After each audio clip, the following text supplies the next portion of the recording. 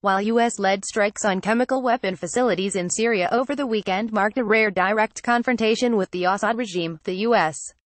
and its allies have conducted more than 14,000 strikes inside Syria since January 2015. Data, Operation Inherent Resolve Get the data, chart, Andrew Witherspoon, Axios The bigger picture, the vast majority of strikes charted above targeted ISIS, with the big spike in mid-2017 coming during the coalition's campaign to rape take Raqqa.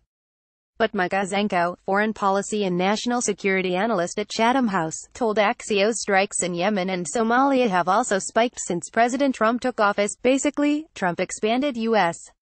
military presence and or air strikes in every combat theater he inherited from Obama.